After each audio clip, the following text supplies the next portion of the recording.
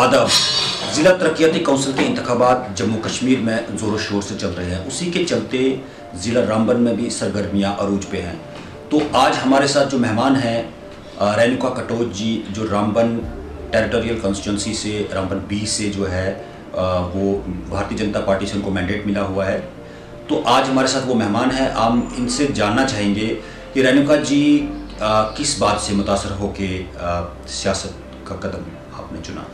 देखिए, हमें एक बात राजनीति में समझनी पड़ेगी। हमें बाहर बैठकर और बातें करके अंदर की सफ़ाई नहीं कर सकते। हम महिलाएँ और युवा चाहते हैं कि हम अपनी अपनी पॉलिसीज़ अपने तरीके से बनाएँ तो हमें सिस्टम में जाना होगा और चेंज लानी होगी। हम महिलाओं को समाज में कमज़ोर समझा जाता है। हम आभारी हैं माननीय प्रधानमंत्री नरेंद्र भाई मोदी जी का जिन्होंने महिलाओं को 33 परसेंट रिजर्वेशन दी और हम महिलाओं को राजनीतिक में योगदान देने का मौका दिया।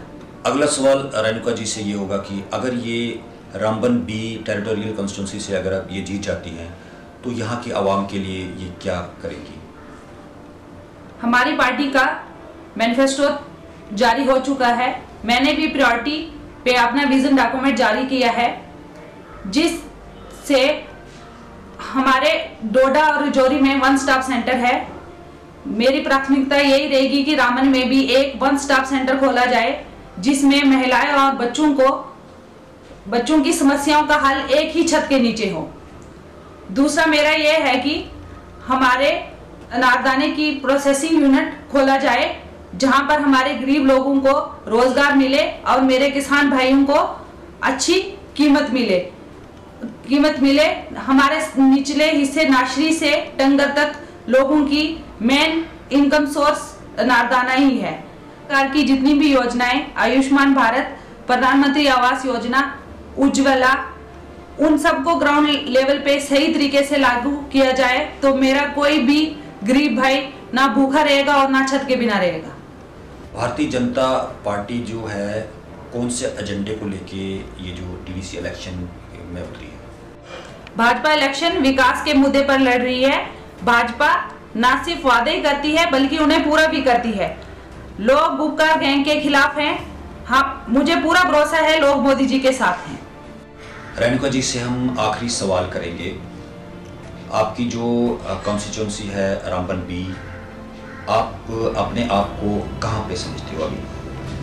अपने चुनाव क्षेत्र में मैं बाकी उम्मीदवारों से काफ़ी आगे हूँ। जैसे जैसे मतदान के दिन नज़दीक आ रहे हैं, मेरे फेवर्स में वोट बढ़- मेरे फेवर में वोट बढ़ते जा रहे हैं। आपके चैनल के माध्यम से मैं ये फ्रैंकली कहना चाहती हूँ, कांग्रेस और एनसी अपनी पूरी कोशिश कर रहे हैं कि वोटर्स को जाति और धर्म के नाम पे बांट सके, लेकिन वो ये बात भूल गए हैं, ये 2020 है। और आज का वोटर धर्म और के धर्म और जाति के नाम पे नहीं बांटा जा सकता।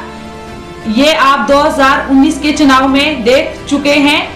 जहाँ श्री राहुल गांधी जी अपनी खानदानी सीट एक महिला के हाथों हारे। धन्यवाद।